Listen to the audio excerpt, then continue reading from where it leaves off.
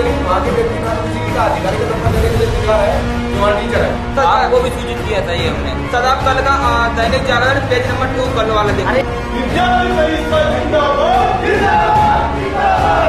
ये नेत्रहीन जो अपने पूरे प्रदेश में चार स्कूल है इंटर कॉलेज तो उनमें हमारा एक मेरठ ज़िले में भी है जहाँ नब्बे स्टूडेंट है और उनकी 1200 प्रतिवर्ष मतलब मंथली के हिसाब से पैसे आते थे पिछली गवर्नमेंट ने मार्च के महीने में इनके 2000 रुपए कर दिए पर 2000 ना आके इनके केवल 1200 ही पर बच्चे के हिसाब से पैसे आ रहे हैं। उसको लेकर लगातार तीन दिन से धरने पे बैठे हुए हैं। परसों मैं इंटर कॉलेज में गया, इन लड़कों से बातचीत करी और हमने सीडीओ, साहब से कल भी मिलने का समय लिया था। उन्होंने हमें समय कल नहीं दिया, फिर आज भी समय लिया हमने उन्होंने आज हमें समय दिया था।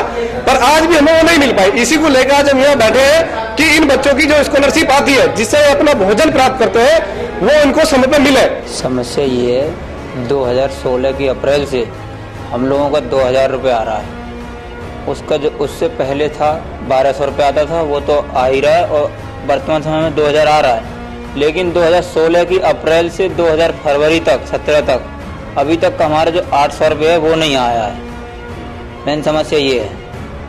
और दूसरी बात समस्या ये है सभी स्कूलों में जून का पैसा आता है और अभी तक हमारे स्कूल में भी आता था, लेकिन 2015 की जून से अभी तक का हमारे स्कूल में वो भी नहीं आ रहा इन लोगों की जो छात्रवृत्ति की मांग है, इसके संबंध में डायरेक्टर साहब को लखनऊ पत्र भेजा गया है और माननीय सीडीओ साहब की तरफ़ से भी पत्र गया हुआ है और दिनांक 8 अगस्त 2017 को, मात्र 10 दिन पहले ही डायरेक्टर साहब का एक लेटर प्राप्त हुआ है, जिसमें उन्होंने कहा है कि इन लोगों के जो छात्रवृत्ति और आबलिक छात्रवेतन के मद में जो पैसे उपलब्ध कराए जाने हैं, उसके लिए शासन से अनुपूरक बजट की मांग की गई है।